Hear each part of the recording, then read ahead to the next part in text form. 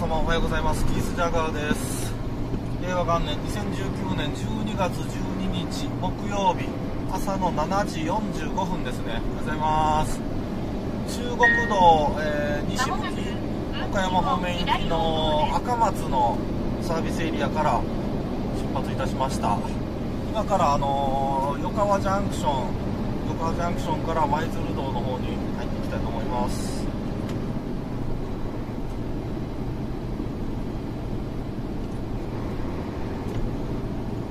はい、結構、結構おるね。こちらが横川ジャンクション、横川ジャンクション、舞鶴若狭道、舞鶴若狭道の出発地点になります。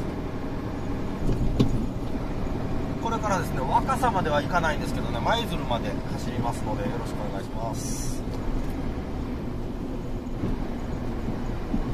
車多いね。朝7時46分3打超えるぐらいまで多いんかな3打ぐらいで降りるのかないっぱいもっともっと上行くんかな一応ね木曜日平日ということもありましてそのレジャーの方ではないと思うんですよねまあ一概には言えないんですけどね7時47分高速道路出勤などに使われてるのかな乗用車もトラックも大変多いですね、今日はね。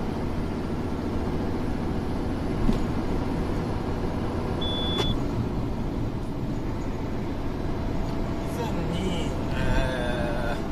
ー、舞鶴若狭道の方は夜勤の時かなんかに、えー丹南笹山ぐらいまでは、ご案内したかもしれません。ちょっとね、舞鶴の方まで行くのはちょっと久しぶりなんで、えーおそらく紹介するのは今日が初めてになるかと思います。はい、えー、横川ジャンクションから三田西、初めの出口ですね、三田西まで3キロほど。で丹南笹山口まで22キロやったかな。で、まあ、あの、舞鶴まで何キロっていうのはちょっと見落としました。まず上荒川パーキングエリア。便所ぐらいしかありませんね。上荒川パーキングエリア。よっぽど眠たかったらここで止めるんでしょうけれども。あのー私が今止めてたようにあのお買い物行きたいとか言うんであればあの赤松のサービスエリアおすすめです。デイリー山崎がね結構変ですよ。後でちょっとしばらく5分ぐらい黙る時間を作ってちょっとパンかじらせてもらおうかな。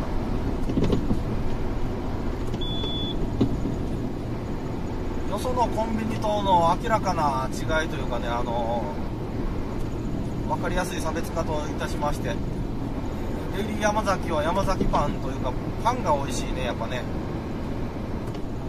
コンビニのパンっていう枠をちょっと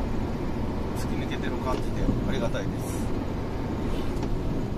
まあ衝動買いしてまうんですけどねその分ねあの行ってしまったらいらんもんまで買ってしまう。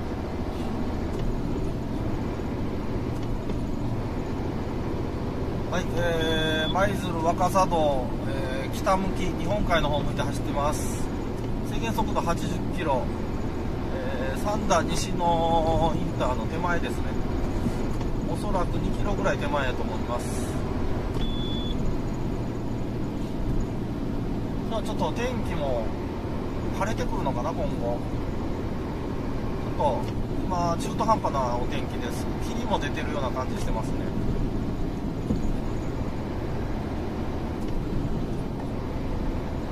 はい、まもなく三田西インターあと1キロです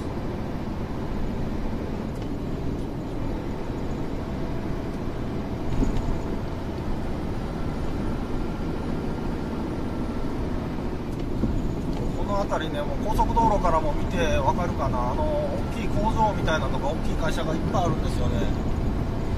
大きい建物が。そこにお勤めの方がたくさんご利用になるんではないでしょうか。さサンダーテクノパークやったかな？何やったかな？なんかあのあれですそういう工業団地みたいなことで集まってるんやと思いますけれども。この先合流がありまず1つ目のインター三田西インターです。入り口がありましてここが違う出口があって入り口ですねこれ。三田西インターです。舞鶴若狭自動車道、えー北行き日本海向き舞鶴向き。えー三田西インターを越えました。制限速度80キロです。2019年12月12日7時51分になりました。高松出発の時が45分ぐらいで言ってたから6分ぐらいかなここまで。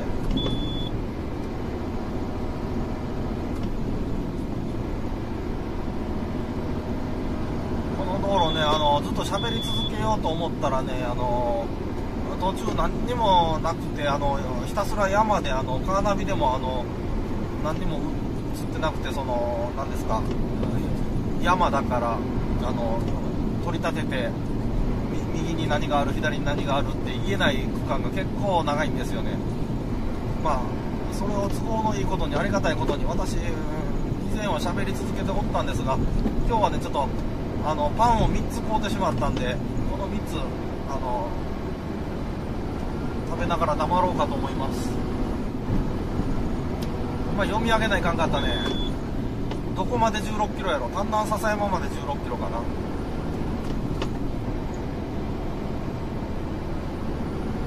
笹山まで16で春日まで30ぐらいやったかな。ちょっと後でまたあのテロップきっちり出しても文字でしますね。ちょっといらんことばっかり言うててあの読み上げという大事なお仕事をしてませんでした。すいません。制限速度ほぼほぼ2車線の区間は80キロやと思っておいてください。えー、と福知山から綾部ぐらいとかあの舞鶴越えてかな、まあ、あの辺もあの1車線になるんでその1車線の区間は70キロです。何かあの規制で50キロ規制工事とか悪天候とか事故とかで50キロとか言ってそういう規制でもかかってない限りは2車線のところが80キロ1車線のところが70キロぐらいで思っておいてください。あそれで多分大丈夫だと思います。多分ね。付け加えた秘境の名みたいなそういうことになります。黙りたいな。パン食いたいな。せっかく温めてもうたからね。食べよう。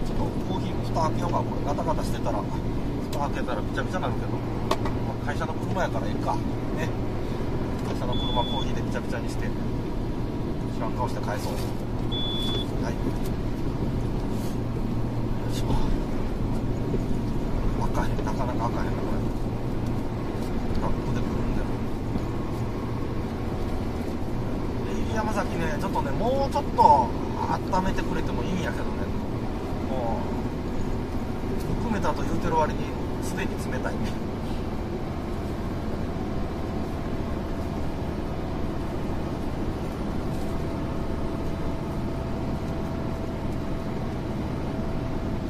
あ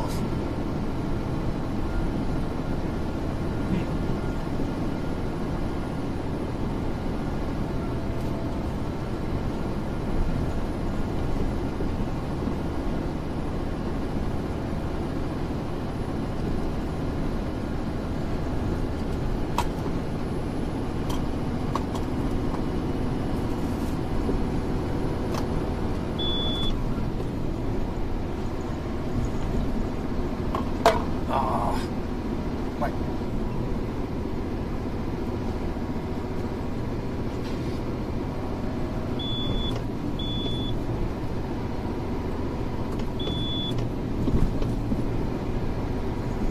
つもはねあのトレーを持ってあのトングみたいなやつを持ってあのや焼きたてパンコーナーでいつもは買うんですよでもまあそこであのやつ買った方が絶対うまいんですけれどもまあ手手が汚れてしまうということもありまして。あのレジの前に売ってたあの何ですかもう焼きたてじゃないやつねあのサランラップにくるんでそのまま売ってあるようなやつ。それ買うてきたんですよ。メンチカツパン食ってるんですけどまあうまいですね。メンチカツパンとグラタンコロッケバーガーみたいなやつとダダブルチーズバーガーみたいなやつですね。バーガー3つ買いました。でポテチとあのピリ辛のあのイカフライみたいなやつね。5つ買いました。あとコーヒーとね。仕事しに来てるのに金ばっかり使いますけどね。まあまあいいでしょう。ドラドライブ気分でね行きます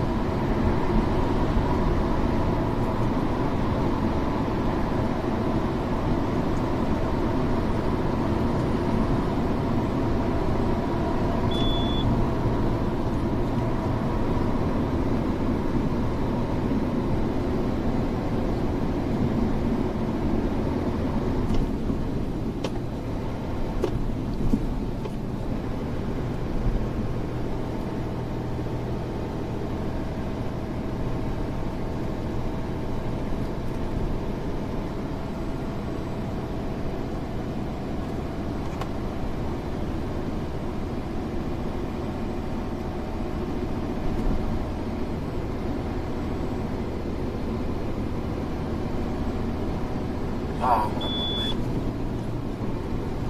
とりあえず一つ食べ終わりました。えっ、と舞鶴若狭自動車道の、えー北行き日本海向き舞鶴向きです。三段西インター越えまして次のインター何やったかな。三段西越えたらもう丹南笹山になるのかな。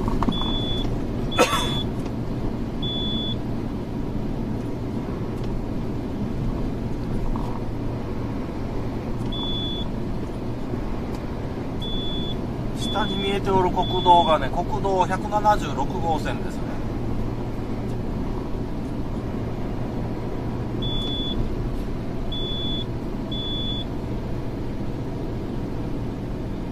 制限速度80キロです。今日私が乗っております車これ81万5400ぐらい走ってるんですがまあまああの古いっちゃ古いけれどもそんな骨董品みたいな古いわけじゃないんですがあのオプションがねついてないんですよこれあのあれがねオートクルーズが。ケチやのーっていうことですよね。オートクルーズがない昔の車やったらともかくもう今ある時代なんやからオプションそれぐらいつけとけよって感じですけどね。スピードにうるさいのであの何キロで走ってもいいわけじゃないんでうちの会社は。あのピーピーピーピーさっきから鳴ってますのはあの速度の警告音です。この音鳴ってから1キロ2キロもうその上突き破るとあの速度違反ということで速度違反4秒以上やってしまうとあのボッコボコにどつき回されてねあのあれですわ。絞首刑に遭うっていうそういう感じですねまあまあ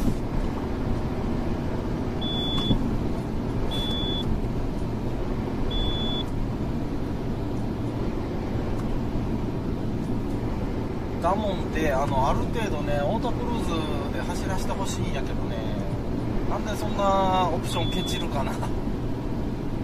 全ての車ついてないんやったらまあ諦めもつくんですがついてるやつとついてないやつとあるんですよね。新車買う時に全部オプションつけとけよってねほんまケチやわ。いくら違うねんそれケチってみたいな。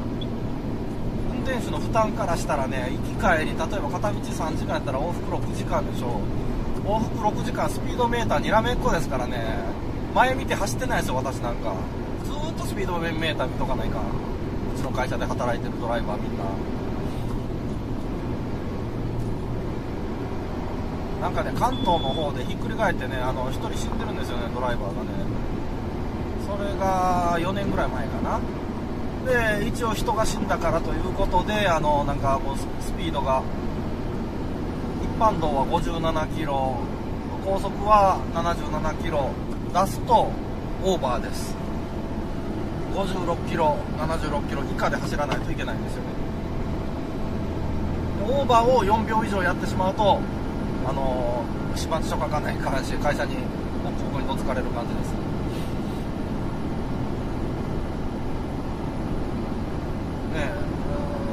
んなんなんで、あの一般的な運送屋さんみたいにあのスピード最近時代的にうるさくなってきてるんで80キロのところは80キロで走ろ走れよと言われてても別に85ぐらいで引っ張ったりとかリミッター引っ掛けながら92、3キロで走ったりとか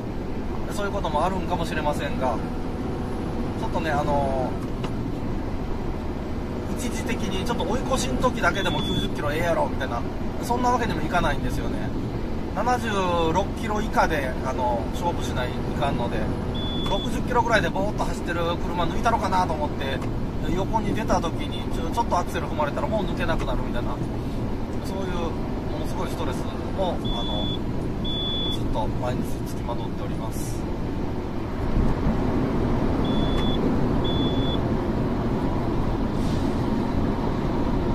でちょっとスピードあまりにもシビアなものでかといってねあの76キロまでしか出したらいかんとはいえこれを50キロで走ったら別にスピード違反はせんやろって言ってそういうわけにいかないんですよね。今度ゆっくり走ったらゆっくり走ったで周りに迷惑なのとあと別に何時になってもいいっていう仕事じゃなくて一応分刻みでねあのバスの時刻表よりもあのややかましいぐらいの分刻みになってますんで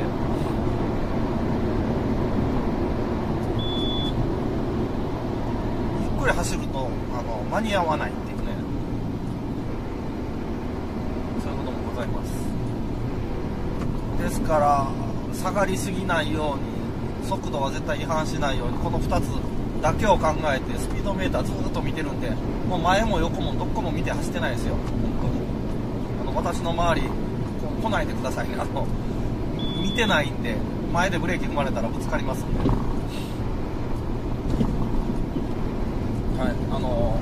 プロドライバーというのもいろんなのがいてほんまにこいつプロかみたいなのもおればあの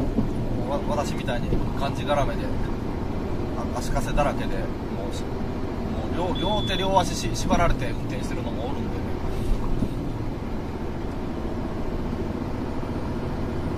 まあどういうイメージなんですかね。あの別に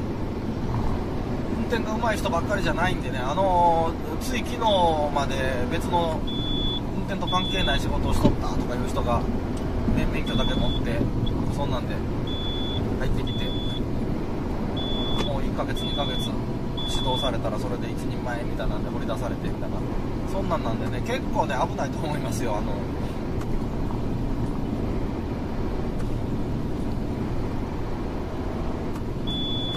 運転に自信があるとか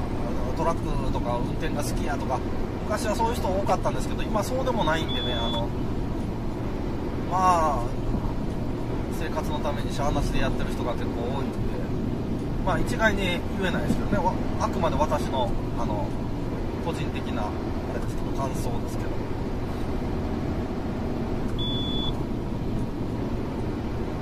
まあしゃあなしでやってる人は悪いとは言わんけどねあのある程度のところでああこんなもんかであのそれ以上向上心持たないというかね別に好きでやってるわけじゃないからということでそこから先の努力しないんでねまあうまくもならないしまあちょいちょいじ事故してもあのまあその時だけ事故した時だけシュンとしとけばいいのかなみたいなそそんな人が多いなというふうに見受けます。まあ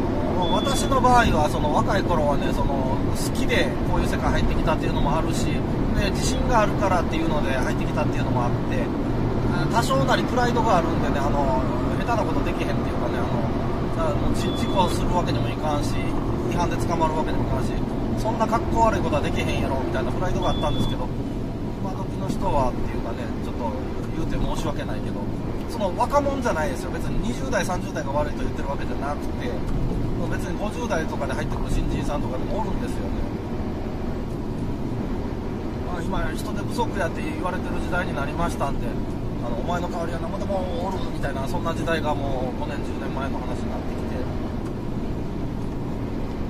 あーえっとね。すいません。ここで、えー、丹南笹山口インター出口です。丹南笹山口出口。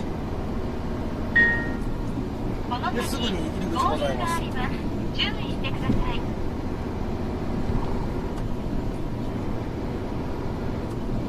阪南笹山口インター入り口です。このインター降りたらねあのもうど道路沿いあのは畑がいっぱいあって農協も近くにあってあの丹波の黒枝豆をあの道端で売ってる光景があのまあ9月9月じゃ早いか10月11月ぐらいはそんな光景よく見かけるんですけどね。もう今12月冬冬になってしまってるんでもう終わってるんですかね。あれ風物詩というか一枝で売ってるやつも7800円で売ってるのかな。まあたまにあのそういう時期にたまたま通りかかって大きい車止めるチャンスがあったらパッと降りて買いに行ったりして。って帰ってあの湯がいたりしてますけ？どはい春日13福知山30舞鶴60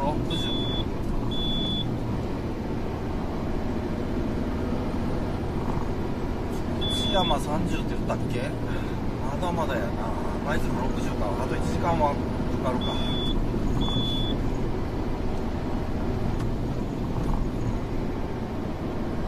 はい丹南笹山口越えますと、えー、錦サービスエリア。錦サービスエリアがございます。上荒川がねあのよよ余川からあ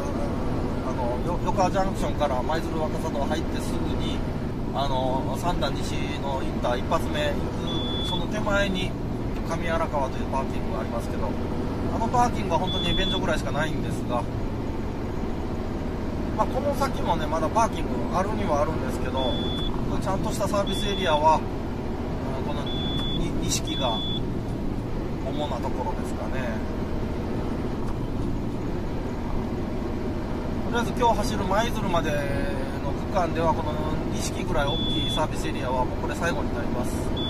であと雪が降って積もってる時はねここ本線止められてあのパーキングにもう全ての車両パーキングに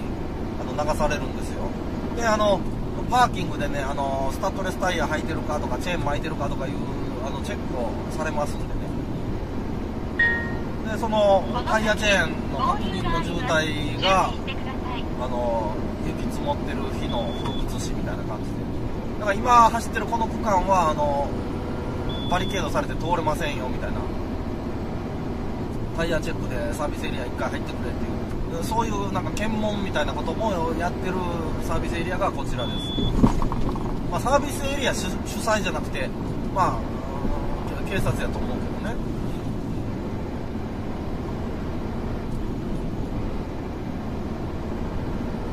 ある程度喋ったし2つ目のパン食べようかな。ね。さっきの運転手がプロやどうやってそういう話はもういいでしょう。面白くない。ね。パンパン食欲が先。パン食べます。霧がすごいね霧がね。山火事だったりして。笑い事じゃないな山火事だったら。ダブルチーズバーガーのパンこの前食ってうまかったんでね。もううまいの分かってるんでこれは最後に取っといて。今日初めて買うたグラタンコロッケパンタルタルソースのやつ。これをいってみましょうか。これ126円やったら安いと思うけど美味しかったらやけどね。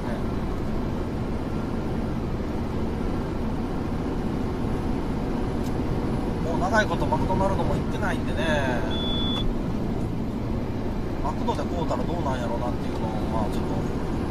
比較できないんですけどね。長いこと行ってないな何年行ってないかなマクドも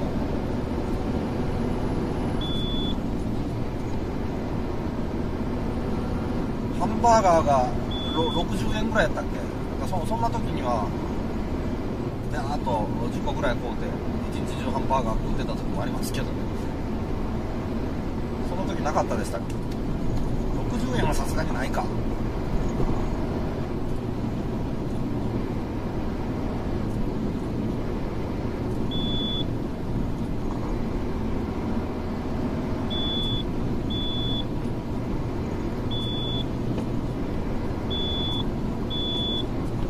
まいけれどもタルタルソースと書いてる割にタルタルソースっぽくないですね別に味がまだそこまでたどり着いてないんだグラタンコロッケもね思ってるほどクリーミーではありませんねメンチカツ食うてもグラタンコロッケ食っても一緒かなぐらいのとりあえずフライ挟んでますぐらいの今の現時点ではそんな感じです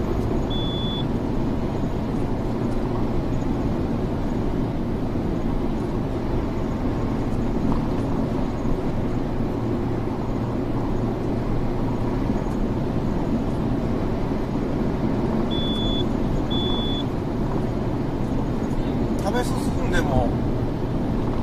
これがグラタンなのかポテトサラダなのか柔らかメンチカツなのか見ないとわからない聞かないとわからないみたいな感じですね目隠しして食べて何これっていう感じですねあのだからグラタンのホワイトソースベシャメルソースなんていうのねああいうなんか牛乳っぽいようなクリーミーな感じの味はしてないですね。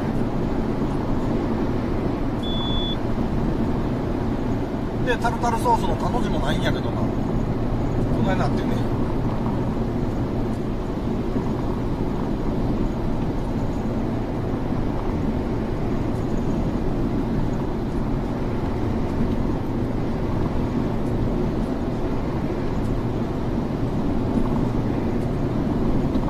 タルタルソース入れ忘れてるんちゃうかっていうぐらいの感じですねもう運転中前見るのをやめてちょっとほんまにタルタルソース入ってんのかいとこの手元をじっくり見たらああ薄く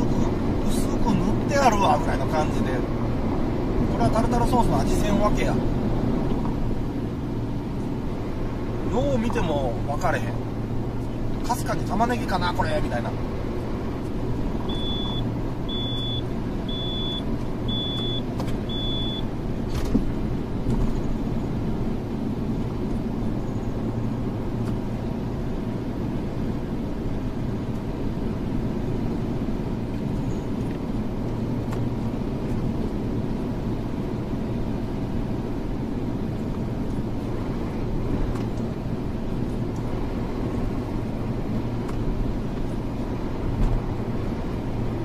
まあ126円かなこれはやっぱ安いなっていうほどクオリティないですね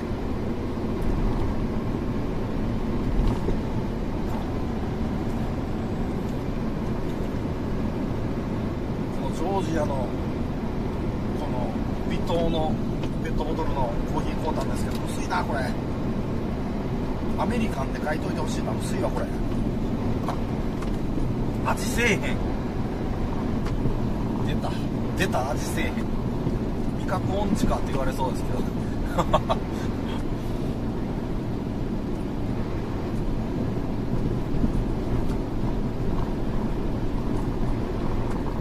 あータルタルソースのグラタンコロッケのバーガーを食べてタルタルソースがおるんかも分からへんし。食べてるやつがグラタンなのかどうかも分からへんでも味味音痴の食レポやな味覚バカかお前はみたいなね。でもねまあデイリー山坂行ったら行ってたらちょっと当店食べてみてくださいよ。味せえへん本当に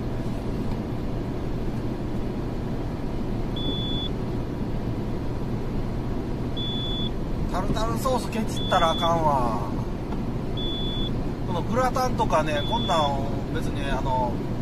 材料費ケチって安もんでもええからソースケチったらあかんわソースを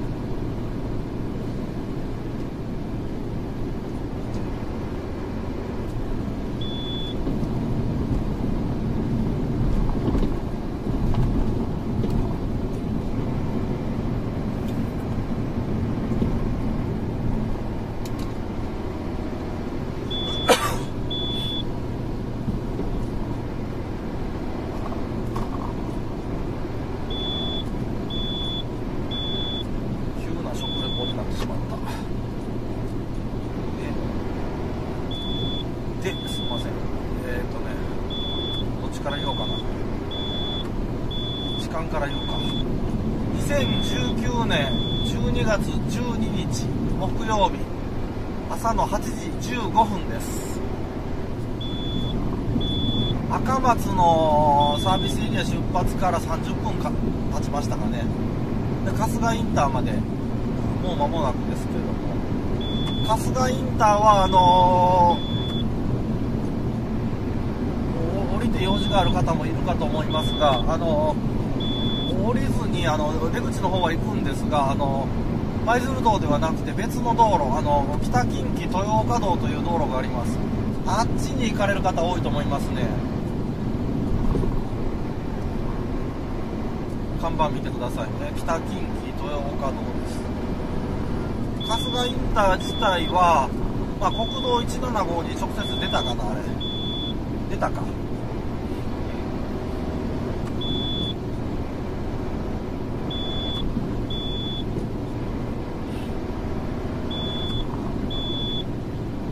北近畿豊岡道はあの和田山の方行ったりあの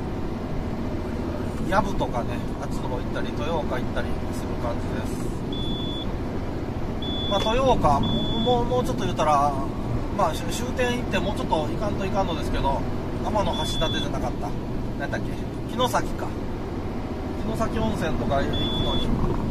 この北近畿豊岡道。車で行かれるんでしたらその方がいいんじゃないでしょうか。電車やったら楽かもしらんけどね。まあ高速降りてしばらくかありかかりますわ。城崎まで行こうと思ったら。下道結構長いこと走らないといけません。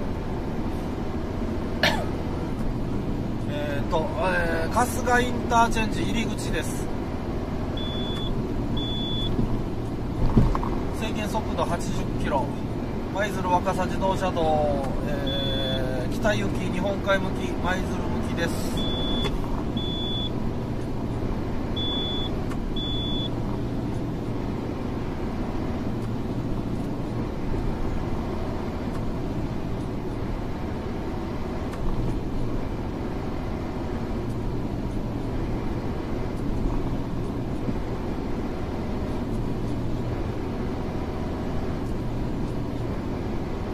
今度こそ行こうはい春日越えたところです福知山まで16キロ綾部まで26キロ舞鶴まで52キロと表示されております。制限速度80キロです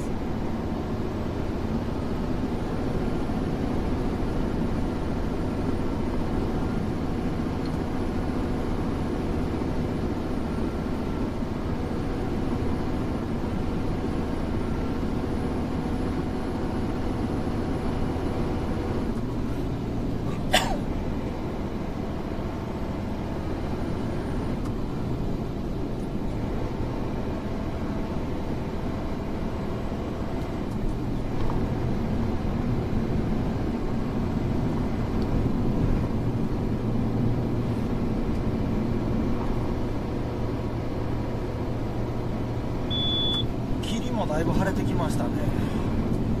太陽も眩しいくらいのやつが出てますね。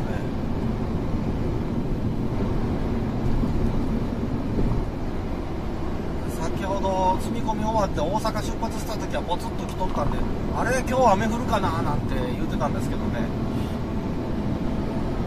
まあまあ天気すごくよろしいんではないでしょうか頑張る荷物と家族大事に頑張って頑張ってちょうだい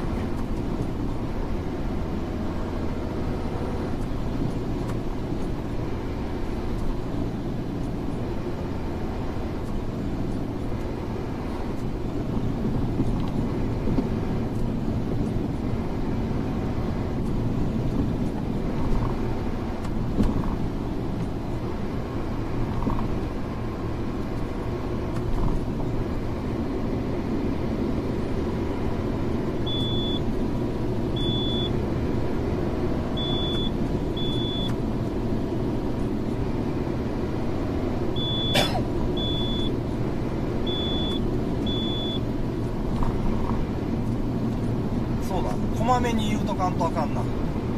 あのすいません。あの12月入ってから急に言い出したんですがあのいいねボタンいいねボタンはまあいいか。チャンネル登録あのもしよろしければお願いしたいなと思いましてあのお願いしておるものでございます。よろしくお願いいたします。まあね今17人なんですよね。この12月12日現在。私のチャンネル登録いただいてる方17名です。17名の方ありがとうございます。すごく弱小なもんですからあの全然あの収益とは程遠いところでやってますんでもうあの別にお金いただいてるわけじゃないので好きなようにやらせてもらってますけれども。まあねあのハードルというかあの敷居が高いですよね収益まで。あのねチャンネル登録1000人超えないとあかんみたいなの書いてましたね。1000人は難しいな。再生数と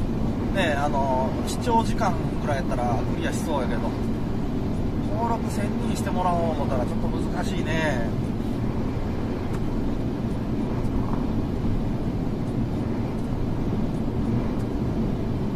ちょっと休みの日にあの NMB かなんか見に行ってなんかこう録画したら怒られるのかな。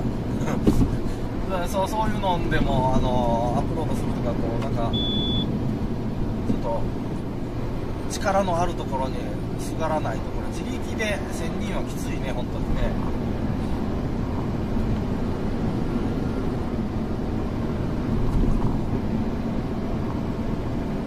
大阪でおったら何が面白いかな。東京やったらねあの立花隆の演説してるところを録画しに行ったりとかしたらいいんやろうけど。大阪あんなんいないからね。橋本さんも引っ込んでしもてるし。どうしたもんかな。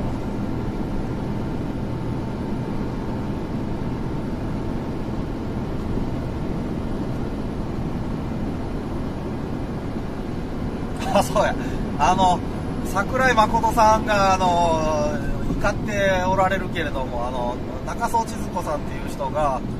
川西やったか池田やったかあの辺の伊丹か。まあその辺ですわあの南西。あの辺りの市議会議員されておるんですよ。NHK から国民を守る党の市議会議員ね中曽千鶴子さんっていうおばちゃん。あの人にインタビューしに行こうかな。相手してくれるかな。してくれへんね多分ね。してくれたらな独占インタビューさせてもらってちょっと。ええ動画が撮れたらねあの再生回数もあるかもしらんなとは思うけれども。時の人やねあのどうどうやってあの桜井誠さんにちょっかいだ出そうと思ったんかとかあのきっかけは何ですかみたいな聞きたいよね。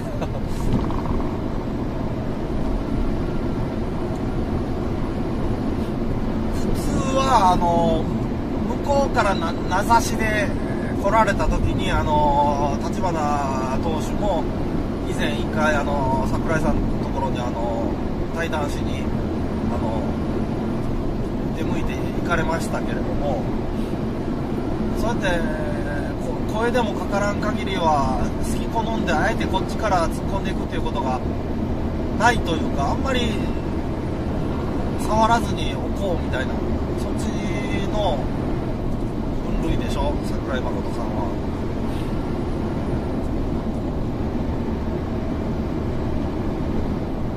なので別に好き好んでこっちからちょっかい出すっていうことせんでええと思うんやけどなんでそんなんしようと思ったのっていうのは聞いてみたいね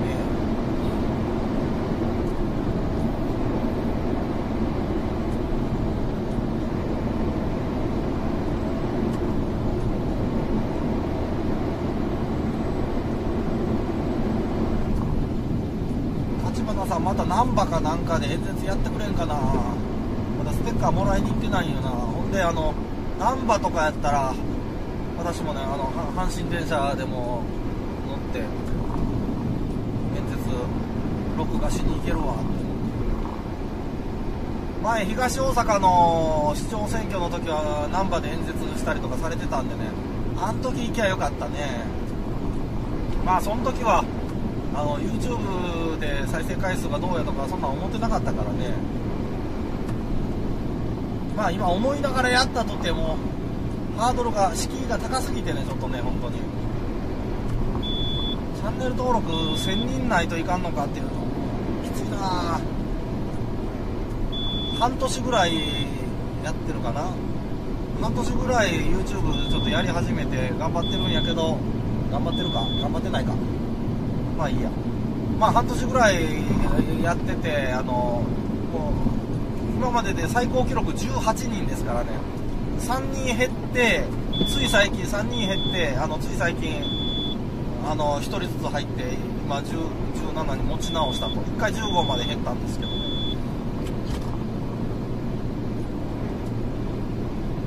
まだ20届いたこともないのにね。1000人は無理やわ。まあでもチャンネル登録1000人超えた時点であのちょっと収益できるようにあの審査してくれよって申請かけたら、まあ、OK やったら OK で広告がついて再生回ればあのね1円でも2円でも入ってくるんやろうけれど。まあそんなことでもならん限りはちょっとあんまりお金もかけたくないし手間もかけたくないし。やり始めたんでねある程度形にするまではやりますけどね。一応この関西圏内近畿圏内の高速道路とかの主だったところを一通り紹介した段階であの登録者数そんなにいなかったらもうその時点でやめますけどね。あの一応一通りはやらんとこんなことやりますって言ってあのちょっと触っただけですぐやめてしまったら三日坊主みたいになってしまうんで。まあお金は入ってこないけれどもあの見ていただいてお役に立てていただけるんやったらっていうことでまあもうその後やややめるにしてもそのまま消さずにそのまま残しておこうかなとは思いますけどね。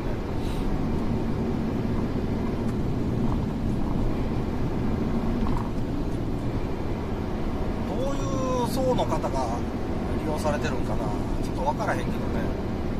もう本当にあの私が意図してるようにあの知らん道初めて走る道ちょっとぐらい下調べしてから走りいいなっていうこの提案に対してあのドンピシャの人が見てくれてくれたら嬉しいけれども違うかな同業の人が見てるとかそんなんかな。だからね。あのそもそもはあれですあの他府県とかに行って旅行とかで行く時に高速道路を走っててねあのカーナビが案内してくれるもんやから自分では調べんと来てるわけですよ。で実際走ってみたら分かるんですけどもカーナビがあの右や左やと言われた時にあの右車線を追ったりとかして左に出てくださいよって言われてももう左も並ばれて出られへんやんけみたいな。通り過ぎてしまったわとかななるのが嫌やからもうブレーキ踏んで無理やりあの車線変更しようとしたり。そういうのって大概急な行動でみんなされるんですまあ事故の原因になるようなことしかしないなと。あの分岐点に行ったら必ずもうスピードをものすごい落としてたり下手したらねあの看板の前であの車止めてブレーキ踏んで完全に止まるまでねスピードを落としてほんであの看板じっくり読んでああこっちかみたいな。そういう運転されるとねあの高速道路止めといてくれよっていう話ですけどもあの迷惑やし危ないしでそうやって止まったやつが看板見て納得いってあこっちかって動き出すんも周り見ていけばええけどもまあそういう周り見んとそういう迷惑なことする人っていうのは周り見んと出発もう一回始めるもんやからもういつこの止まってる車がいつ動き出すんかも分からへんみたいな。こっちからしたらもう迷惑やし怖いしみたいなね。そんなのがカーナビの時代になりまして非常にあの目に余るわけですよ。それでちょっとあの昔やったらねあの知ってる道行くんやったら毎日地図持って出歩かへんかもしらんけど知らんとこ行くぐらいはね行く前に1回ぐらいは地図見てああここの道通ったらいいんやなみたいな予習ぐらいはしてたもんですよ。プロであろうが素人であろうがね。まあカーナビに任しときゃたどり着くわみたいなんで。運転するの自分やのにね。あのカーナビはあの言うてくれるけどもあれはあれでねあの高速の桁下に入ったりとかしてちょっと電波が悪くなって GPS の,、ね、あの調子が悪かったら全然違うところを示したりとかして急にあの目的地に着く寸前になってからあのバグって固まってみたりとか結構弊害があるから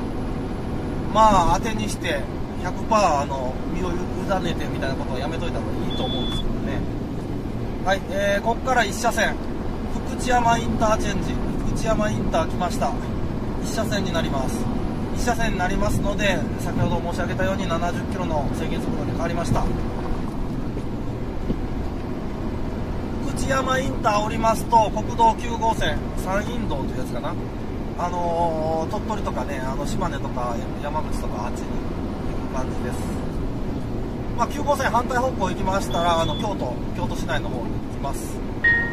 はい、こちらが福知山インター出口です。出。口すぐ後にまたこの福知山インター入り口合流ございます。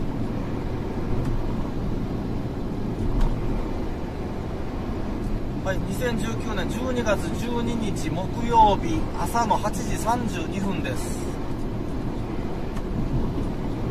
舞鶴若狭自動車道北向き日本海向きえー舞鶴、方面行き、えー福知山インター越えました。ここ1車線になっております。制限速度は70キロです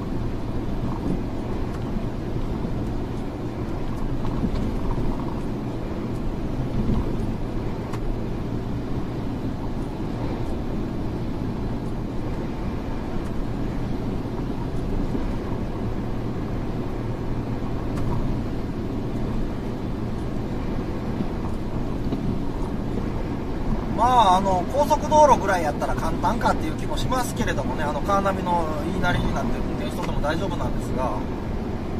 まあ、大丈夫じゃない時もあるんで、やっぱ下見はしてほしいね、下見というか、下調べぐらいは。で、私があのプロの運転手の私があのつい最近言っても2、3年前やけど、自分のことで個人的に思ったんが、あれですよ、あの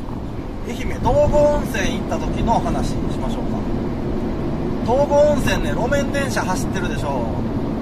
あのー私の住んでる町大阪も一応路面電車ないことはないんですけど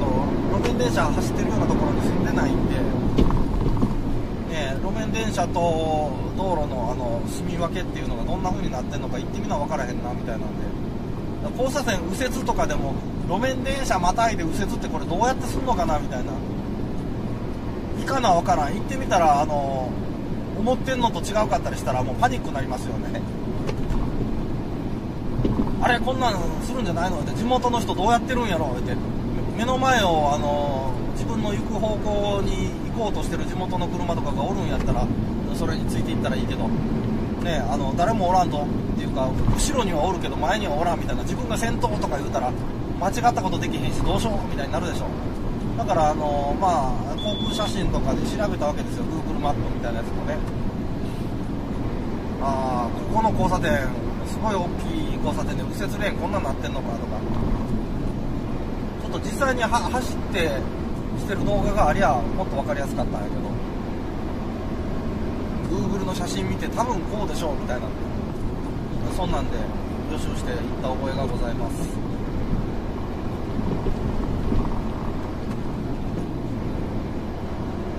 まあ、高速道路もジャンクションややこしいところいっぱいあるんですよね。例えばねあの大山崎のジャンクション名神高速のね。大山崎ジャンクションなんかはあれぐるぐるぐるぐるあの回らされてあれややこしいですよ。出口こっちや京都縦貫道こっちや刑事バイパスこっちや言うてねぐるぐる回っとってよう見とかんと京都縦貫道でもあの反対方向に向いて走ったりとか言うたらあのえらいことになってしまうでしょう。行った先であのカーナビの言うこと聞聞きながらあののろのろと何やったら高速道路止めてまで看板をゆっくり落ち着いて読めばいいかなみたいな。あそそんなことではちょっと危ないと思いますよ。あの事故の原因になるかと思います。そしてまたあの迷惑もかけるんでねあの渋滞の原因にもなりますからね。知らんところ行く時ぐらいはもう5分でも10分でもええから下調べぐらいしたらどうなのっていう。そそれを提案したいわけですよ。であのちょっとあの押し付けがましい話ではありますけれどもこうしたあの解説動画みたいなのを作っております、ま、解説動画っていうような偉そうなもんではないですね。案内してるだけでね解説っていうほどのことはできません。ななぜならば下調べを一切してないからです。全部あの私のあの思い込みとかあのそんなんだけでもの言ってますので間違ってることもあるかと思いますよ。なのでただ参考になさるのはいいけれども本当にそうかどうかっていうのはごご自身であの確実なところはあの調べてみてください。自信持って言うてるやつが間違ってる場合もあるしね。後で自分で編集しながら「うわこれ間違ってるわ」みたいな、まあ、そんなん私が自分で気づいたらあの文字でテロップで「これ間違いね」って言って。そうそういうのたたびたびありましたけれども今まで。278個動画作った中で何回かありましたけど、まあ、間違ってることも結構言ってますので参考になさる程度にしてやっぱり最後は自分で調べるのかみたいになりますけれども。お願いします。チャンネル登録していただいて1000人超えていただいてあの広告でもつけれるようになるんやったらちょっとあの下調べぐらいして私も物言おうかなみたいな。素人じゃないんでみたいなことになってきますからねもう。お金もらえるんやったらちょっとそっちの方でもプロプロとしてやらないかんかなみたいな。自覚が芽生えてしまったり。まあ今はそういう段ではないのであの別にクオリティはこのままでいくかと思います、まあ、これ以上のことをねする元気というかうん時間がないですわ。時間も元気も。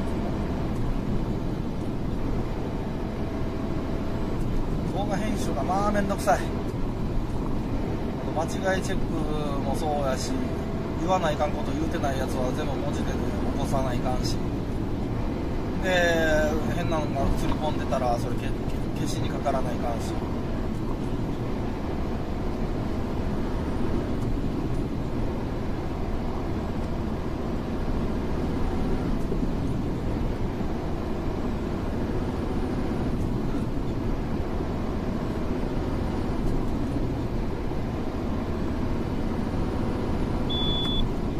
まあ需要がどれぐらいあるのかっていうのの実験的な部分もありますがあわよくばですよね。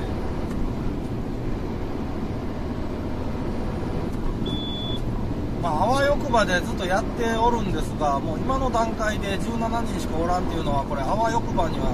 ならんと思いますんでおそらく霧のいいところでねあの一通りあの一通り全ての道路介終わりましたよという時点でもその時点で多分手離すとは思いますけどね。ちょっと他に面白いこと見つけないとね。再生回数回数とね視聴時間に関してはあのおかげさまでここ1ヶ月ぐらいであのえげつない伸び方はしたんですよ。半年ぐらいやってましてあの前まで5ヶ月分ぐらいはあの400個ぐらい動画上げたかな？400もうちょっと上げたかな？400上げてるんやけど再生回数全部足しても100いかんわぐらいの。再生時間も自分で見てるからまあ回ってるにしてもそれでももう極端に少ないわみたいなことやったんですが。400個の動画合わせてもですよそれ全部合わせてもね。まあそれからしたら最近げさせてもらってる動画うんご50個ぐらいかな。この道路の動画だけじゃなくてゲームの動画とか旅行の動画とかもやってるんで。まあそんなもの全部合わせてまあ 50, 50本あるとして最近の50本に関しては比較的見ていただいておるなと。あすいません。あの綾部インター。綾部インターです。綾部インターチェンジ出口。そして入り口があってでこの綾部インターから4キロかな？ちょっと離れたところところに綾部ジャンクションがございます。今日ねどっちから行こうかなと思うんですよねこれ。綾部ジャンクションからあのー京都縦貫道で舞鶴大江というところで降りるかそれか舞鶴若狭道で舞鶴西まで行くか。どっちにしろあの高速降りてからだいぶ下道走らないといけないところに地ありまして高速インターどっちから行っても遠いんですよね、まあ、中途半端なところにあるので。あー今日は舞鶴道にしよっか。この前ねあのーだいぶ前に10日以上前に2週間ぐらい前かな。あのーあっちの宮津の方まで行ったんで天橋立の辺りまでね。でその時の動画まだちょっとねあの編集してないんですわ。2週間ぐらい経って。それより後に撮った動画を先に先にやってて、まあコンディション悪かったっていうのもありますしあのそのまんま上げれるような感じじゃなくてあのな中身ちょっといらんこと言うたりしてる分とかあのカットするなり音飛ばすなりせなあかんなみたいなことになってるんでちょっと編集技術がないもんやから後回しにしてたんですけどもあの京都縦貫道に関しては終点のあの京丹後大宮か。あそこ新しくできたあそこまで一応コンプリートしてるんで。まあそれもゆくゆくは今年中にはなんとかやっつけたいと思ってます。録画時間自体が3時間ぐらいあるから編集時間考えたらまあ78時間は早くてもかかるかと思います。撮影時間に対して3倍ぐらいの労力はかかるんでね。まあ慣れてきてもあの編集した動画があのなんていうかな。ちゃんとしたビデオに作成されるまでっていう時間とあとにアップロードする時間もう1時間2時間っていうような長い動画になったらもうそんなん 5, 5分10分でアップロード終わらないんでね。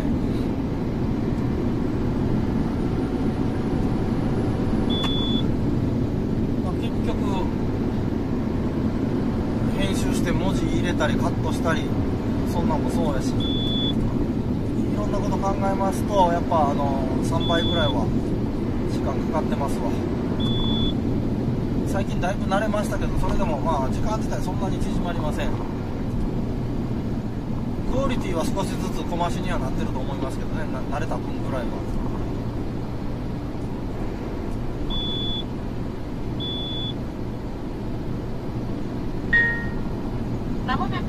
早いねもう4キロぐらいっていうのを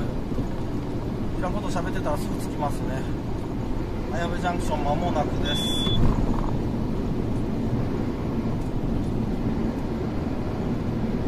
道路の名前がねよくわからない。一応京都縦貫道と書いてございます。あのー綾部ジャンクションからね。京都縦貫道で、あの京都市内方面に行くのと、あの宮津の方天橋立の方に行くのと方向2方向あるんですが宮津天橋立を越えたあたりやったかな。そっから無料区間になるんですよ。そっから先が2区間しかないんですけどあまあえーとね与謝天橋立と京丹後大宮やったかな2区間ぐらいしかないんですが無料区間になります。その無料区間のところはね山陰近畿道かなんかで名前が変わってましたね。近畿山陰道じゃなくて山陰近畿道あくまで山陰が先みたいなね。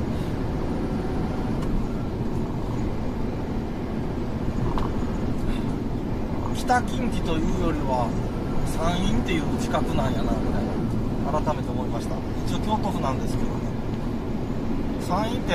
私からしたらあの鳥取島根が山陰かな思ってた京都府の山陰か場所によっては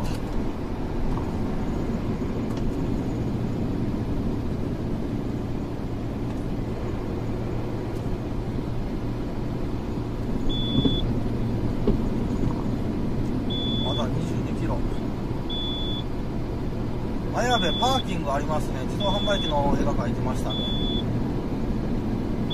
あさっきムトベのパーキングを言うてないかいらんこと言うてて。まあもう文字で書くからいいでしょう。六人部パーキングありましたね。西紀サービスエリアの次六人部までパーキングないんやね。で六人部パーキング終わったら次綾部パーキングか。まあパーキングパーキングであのサービスエリアがないっていうことであのガソリンスタンドがねパーキングないんでねサービスエリアじゃないとないのでまあレストランとか食事が取れるかなどうかなっていう売店がありますかっていうよりはガソリンスタンドの方が問題大きいと思うんで。燃料入れられる方はもうサービスエリアで止めなしゃあないですよね。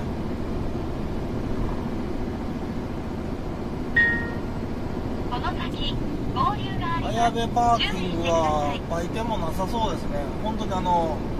副菜便所と自動販売機だけですか？武戸部のねパーキングエリアはねパーキングエリアと言うてる割に売店ぐらいはあったような気もしますけどねちょっと定かではございません。ちょっと止めてみなわからんのですけれども。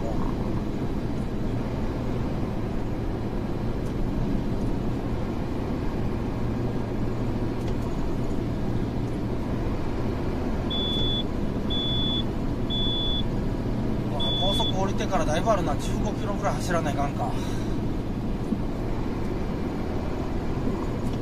舞鶴若狭自動車道の北行き日本海行き舞鶴行きです。もう間もなく舞鶴ですけどね綾部を越えてしまった。2019年12月12日木曜日8時47分です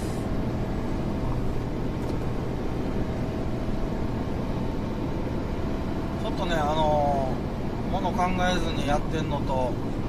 もの食べながら走ってみたりとかそういういらんこともありましてちょっと今朝の動画はこれいついつもに増してクオリティ低いかもしれませんがご容赦ください。雨降ってきたな晴れてるように見えてパラパラと。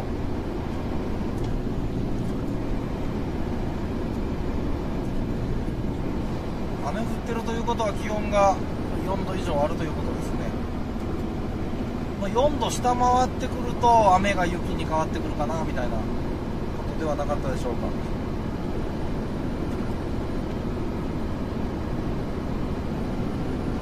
雨降ると思ってなかったからカッパ持ってきてないんよな。荷下ろしでまだ風邪ひきになるかもしれない。んでおこのトンネルはトンネル出口車線減少になってますね。2240m のトンネルです。黒谷枕トンネル。2240m まあまあ長いトンネルです。ねこのまあまあ長いトンネル出たら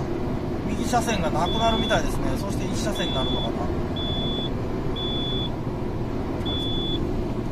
今のところ多分80キロでいいと思います。制限速度は。2車線のところはね。1車線に絞られると70キロになるかと思います。もうちょっと近づいたら。はい見えました。80キロですねやっぱりね。舞鶴西の出口が2.2キロと書いてました。私は舞鶴西で降ります。舞鶴西で降りて少しだけ舞鶴市街地をあの撮影させていただいてそれで動画終わらせてもらいましょうかね。間経ったやろうしねこれ。経ってない？経ってるね。64分ぐらいですね今撮影時間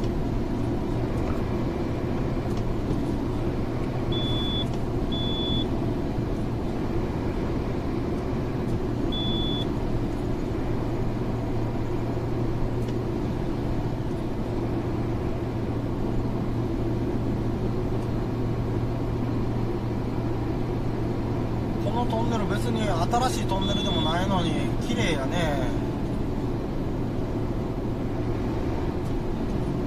ボロっちい感じしないですよね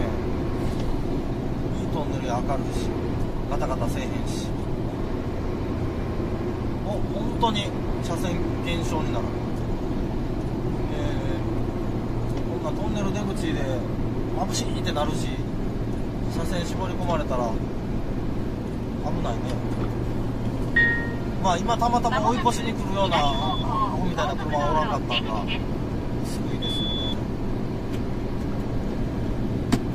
まあやややこしいところでわざわざ無理して抜きに来くなよみたいなことがなかったんでまあま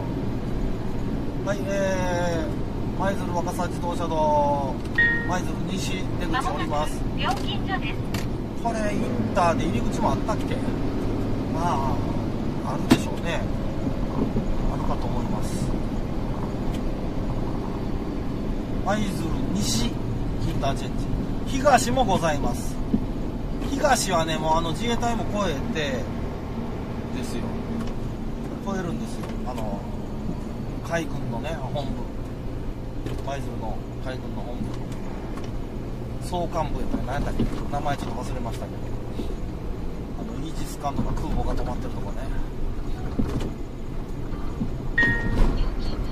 そ700メートル先、左そしてこの舞鶴西はそんなのだいぶ手前に出ます。舞鶴の駅のとこも通るかな。まあ市街地ですよね。こっちが多分メインやと思うんですけどね舞鶴市って言ったら。東の人ごめんなさい。東はね多分自衛隊の基地で基地関係の人ばっかりかなみたいなイメージですよあのよそ者の。よそ者の想像するところはそんな程度です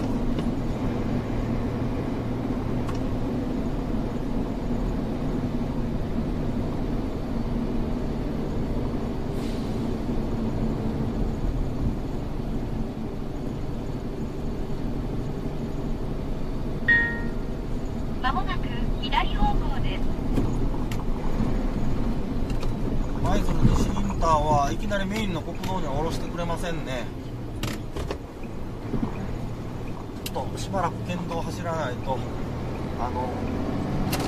国道メインの通りには出ません舞鶴東もね多分2キロぐらい走らんと無理かな。そのメインって言うてる私が言うてる部分は国道27号のことです。この北陸にかけてというか27号どこまでやろ8号線とぶつかんのかな？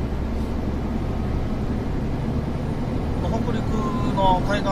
の近く通るような国道やというイメージなんですが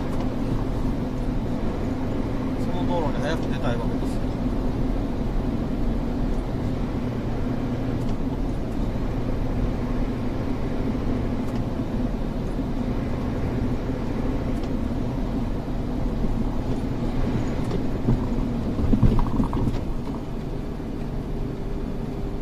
はい、えー、と綾部方面左、えー、舞鶴小浜と書いてありますねこっちが右です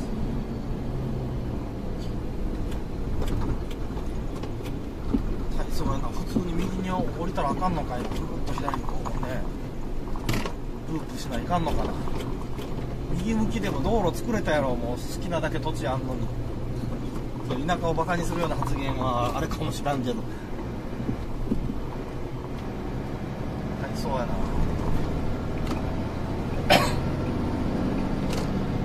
真っ広いやん、ここ。こっち向いて道路作りゃいいはい、文句ばっかり言ってすみません。人の町の悪口を。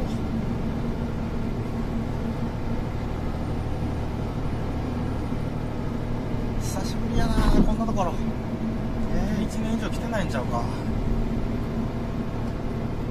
懐かしいというか1年ぶりぐらいに来ても変わり映えはしないかん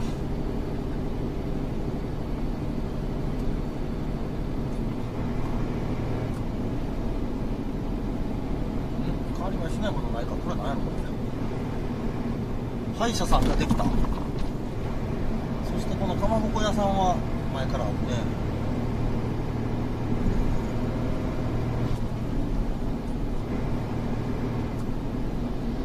舞鶴に来てお土産買うんやったら、まあ、いろんなんあるんですけど別に舞鶴の名物でもないんですけどもあの1本1000円ぐらいするあのちょっと高いんですけど大きいサバがあるんですよ。あれは油乗ってうまいですよね。トロサバみたいなやつね。あれを焼いたらもう油に火ついてしまったらも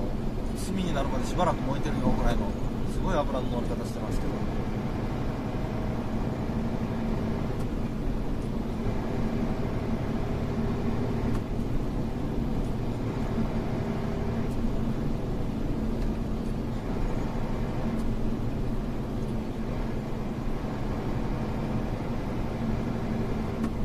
会社さんが新しくできてたんかな昔からあって見逃してるっていうこともなさそうやけどねさっきのやつはなんか変わったかなっていうのはそれぐらいですかね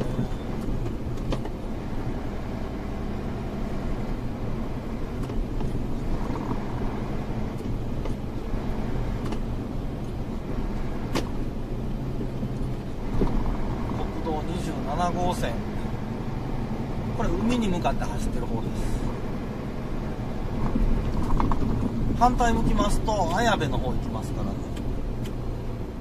舞鶴の港の方に向いて走っております。港まであと3キロぐらいやね多分。このまままっすぐドーンと突き抜けて3キロ走ると港があります。この前淡路島に旅行行った時にあの渦潮クルーズって言ってあの渦潮を見に行くための遊覧船みたいなの乗ったんですけどあれで餌付けされてるというかあのカモメに向かってパン投げるやつがありまして。こでカモメたくさん見たんですけどね船の上から。淡路島のカモメ痩せてるなと思いまして。というのがね舞鶴の港のカモメねめちゃくちゃ太ってるんですよ。ようそんな太って飛べるなっていうぐらいねでかいですよ。舞鶴の漁港の魚つまみ食いするんでしょうね。ほんであんだけ太ってるんやと思うわ。漁港にものすごいおるんですよ。あの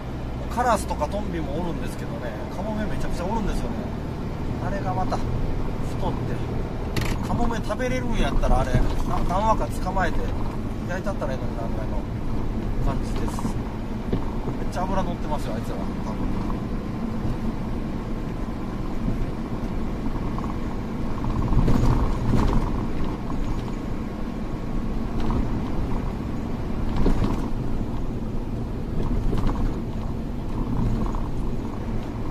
はい、えー、2019年12月12日木曜日8時58分になりました、舞鶴市街地を走っております。国道27号線です。海の方に向かって舞鶴の港に向かって走っております。私の目的地宮津の手前まで行くんでねちょっと舞鶴市は舞鶴市やけど宮津の手前ぐらいまで行くんでちょっとまだあと1 0キロぐらいかでしばらく走らないといけませんが一通り舞鶴の市街をちょっとだけこうやってご案内したらもう動画そろそろ切らせてもらいます。途中であのベラベラしゃべってあれなんですけどチャンネル登録をお願いいたします。17今17人なんでねあと983人か。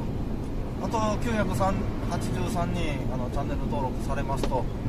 私もあの YouTuber かなみたいなそんなことにななるんかなみたいな。まだだいぶ先やね。半年かかってやっと17人やからね。900なえ983人とか言ったらもうあれやわ。あと200年ぐらいかかるんちゃいますかね。どういう計算やろ。200年でいかんか。無理か半年で17やったら1年で34か。10年で300か。無理やな。700メートル先。左方向です。無理やなっていうか10年で300やろ。それの3倍。30年でいくんか。200200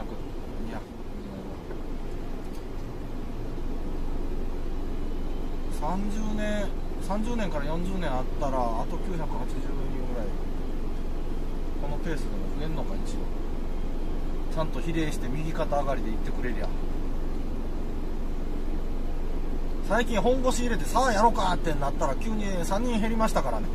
まずマイナスからのスタートなんで私は、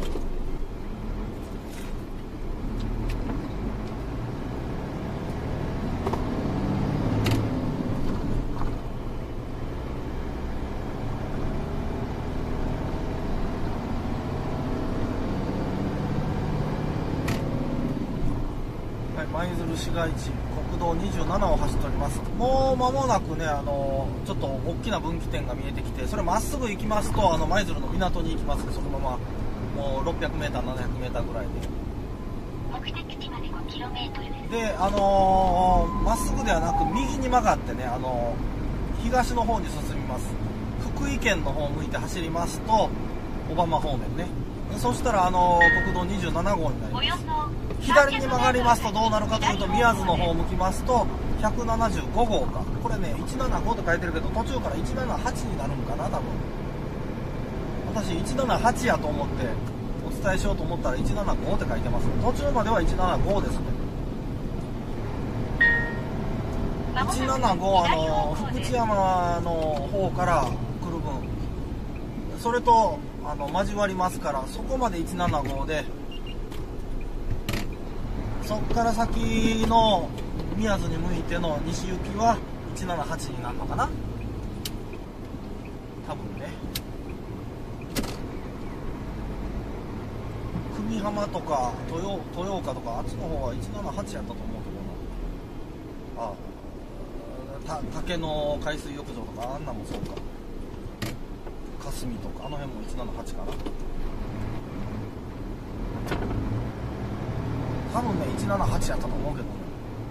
まだ言うわ。まだ言うか。今現在走っておるのは175です。おそらく9号線のあの福知山の牧というところ曲がって与謝野峠の方行かずにそのまま道なりに延々と来たら日本海の方にこっちの方に出るんでそれとぶつかるまでが175やったような気もします。ちょっとうろ覚えです。ちょっとじゃないな。かなりうろ覚えです、まあこの辺走る自体も1年かな2年かなぐらい。